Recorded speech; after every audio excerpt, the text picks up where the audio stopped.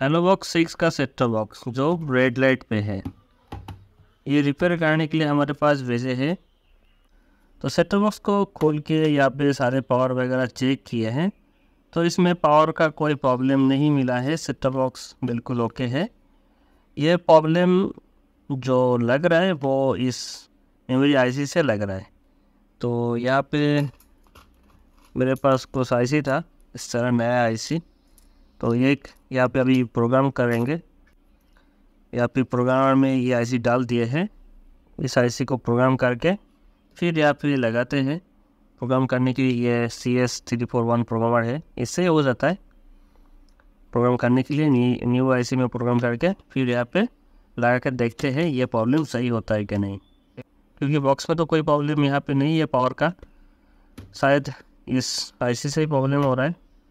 तो नया आईसी डाल के देख लेते हैं। तो दोस्तों प्रॉब्लम इसका फ्लैश आईसी में मतलब सॉफ्टवेयर में ही था तो फ्लैश आईसी यहाँ पर बदल दिए हैं। यहाँ पे एक नया फ्लैश आईसी लगा दिए हैं विन बॉन्ड का। और इससे पहले जो फ्लैश आईसी था, उसमें थोड़ा प्रॉब्लम था, इसलिए फ्लैश आईसी बदल दिए है।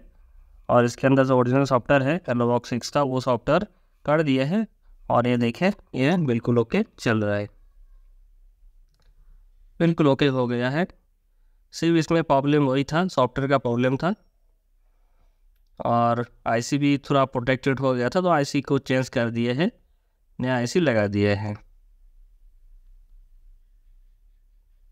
तो दोस्तों, इस सेट बॉक्स को तो रिकवर कर दिए हैं। अगर आपके पास भी ऐसा कोई सेट बॉक्स में प्रॉब्लम हो गया है रेड हो गया है रेड लाइट जल रहा है तो इस तरह हमारे पास पार्सल करके भेज सकते हैं उसको सही कराने के लिए। हमारा जो कॉन्टैक्ट नंबर है, वो यहाँ पे वीडियो के ऊपर और डिस्क्रिप्शन में आपको मिल जाएगा, इस नंबर पे आप कॉन्टैक्ट कर सकते हैं, अगर अपना सेट बॉक्स डिलीवरी के लिए भेजना चाहते हैं। और वीडियो पूरा देखने के लिए सभी दोस्तों को बहुत बहुत धन्यवाद। तो चलिए मिलते हैं नए इस वीडियो में।